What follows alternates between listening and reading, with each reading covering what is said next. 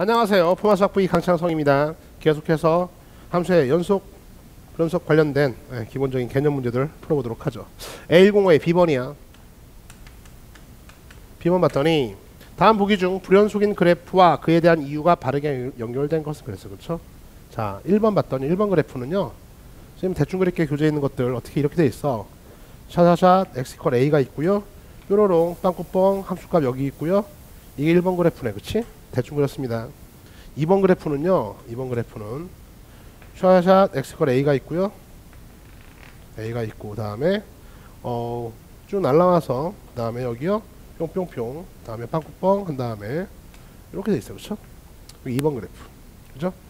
자, 어, 불연속인 그래프와 그에 대한 이유예요. 그렇죠? 자, 그러면요. 지금 기억 봤더니 기억은 일단 다 a에서 지금 불연속이죠. 눈만 눈, 눈만 달렸으면 되는 거 아니에요. 그렇죠? 불연속. 얘도 불연속이에요. 그렇죠? 불연속 이유를 한번 살펴볼까요? 1번. 1번은요. 봐요. 좌극한 값 이거 k라고 할까요? 좌극한 값 존재하죠. 우극한 값도 존재해요. 그러니까 극한 값은 있어요. 그냥 극한 값은 있어. 함수 값도 있어요. 근데 뭡니까? 이거죠. 1단계 limit x가 a로 갈 때에 fx요. 이거 정확히 개념 정확히 잡고 정확히 쓸 줄 알아야 돼.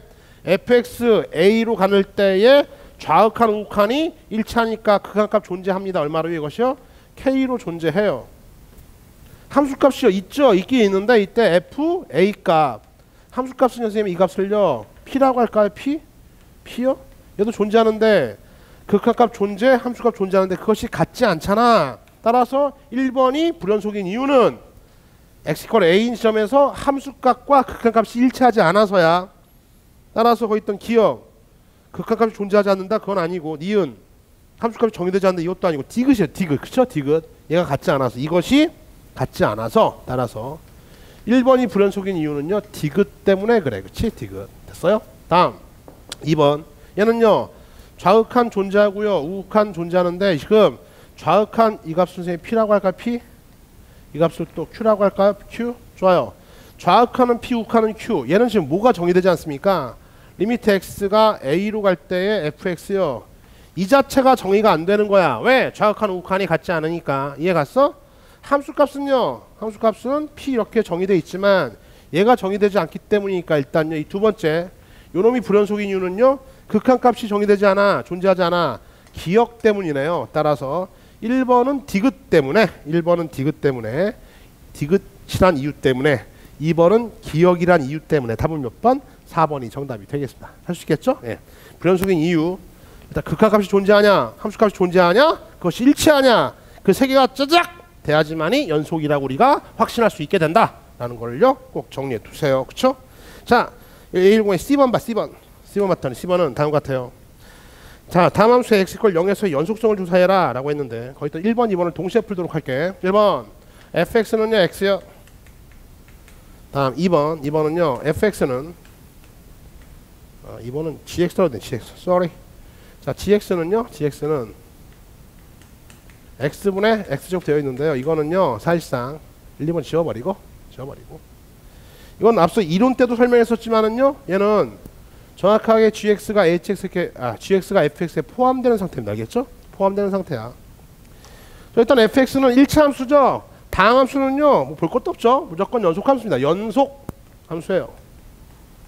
그림으로 그려줘도요 눈으로 딱 보일 거 아니야 한번 그려볼까 크게 샤샤샷 샤샤샷 저 있던 fx 노란색 그래프는요 y 콜 x니까 사자자자사 이거잖아 그쵸 y 콜 fx fx 써주자 써주자 fx는 x 아 보여요? 모든 x에 대해서 연속이잖아 맞아? 연속이죠 따라 연속 함수입니다 일단 gx는요 이게 분자도 연속 2차 1차 연속인데 연속 연속 나누기잖아 나누기. 기억나죠? 연속 연속은 덧별 곱나 합성 실수배까지 다 연속인데 단 나눌셈일 때 0으로 나눈 걸 주의해야 돼. 얘는요 이 gx를 보자마자 분모가 0이 되면 안 되잖아. X가 0이 되면 안 된다고. 알겠어요? 따라서 gx는 0일 때 함수값이 존재할 수가 없습니다 얘 분모가 진짜 0이 돼버리면 부정 또는 불능에 빠지기 때문에 그래 그래 어떻게? 분모가 0이 될수 없는 상태에서요 그 다음에 xx 하나 약분하면요. 이건 어떻게 되는 거야? gx는요. x시네. 근데 단 x가 0은 아니니까 그려주면 뾰뾰뾰뾰뾰뾰 여기가 빵꾸뻥 이게 지금 빨간색 GX의 그래프예요. 그렇죠? fx와의 차이점은요. 얘는 얘는 0,0이라고 하는 그래프 요 점을요. 그래프가 어, 갖고 있고요.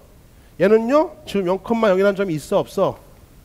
얘는 존재하지 않잖아. 딱 이 차이야. 그래서 이렇게 포함됩니다. 알겠어요? 됐어. 그리고 말하자면 이제 문제 풀 때는 어떻게 해야 돼요? 당연히 1번은요. 연속 함수고 2번 함수는요. x 이 0인 점에서 불연속인 그러한 함수가 되겠다. 이렇게 정리할 수 있겠네요. 그렇죠? 자, 문제에서는 x 이 0에서 연속성을 물었는데요. 그죠? 아, 이거는 여러분들한테 의심되는 지점을 한번 알려주고서 문제를 물은 거고 이 x 이 0이 사는 지점이 주어지든 안 주어지든 간에 그죠? 이 정도쯤이야. 다항 함수는 다 연속함수. 얘는요 분모가 0이 되는 거. 원래 연속 연속 나누면 다 연속인데 분모가 0이 되면 안 돼.